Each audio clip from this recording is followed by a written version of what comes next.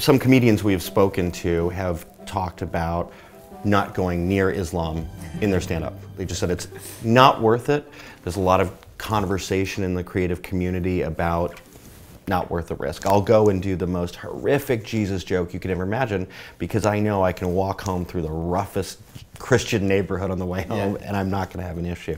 So there's a sense that this looming shadow, and again, it yeah. comes from fundamentalists, that it's risky to make these jokes. So have they actually succeeded in their mission to make it taboo to no, make jokes? I think it, I think it's fucking racism. That's what I think. I think it's bullshit and it's racism.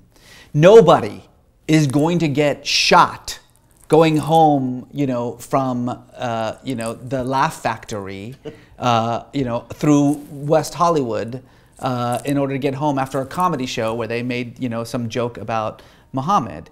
The thing, the fact that you think you're going to is racist behavior. It's racist thinking. You, don't make that joke in Qatar, okay? Don't make that joke in Doha, and you'll be fine. Okay. Right, but you look at a public figure like Matt and Trey for South Park. They mm-hmm. got, didn't they receive some death threats over over their episode? They received though? death threats for the R. Kelly episode. Right.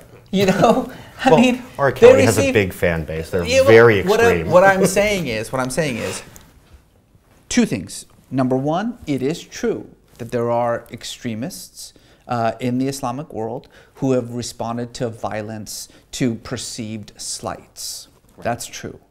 It's also true that if you are saying to yourself, I'm just going to assume that every Muslim who hears a joke about Muhammad is going to kill me, and so I'm not going to make any jokes about it, is not just self censorship, it's racism.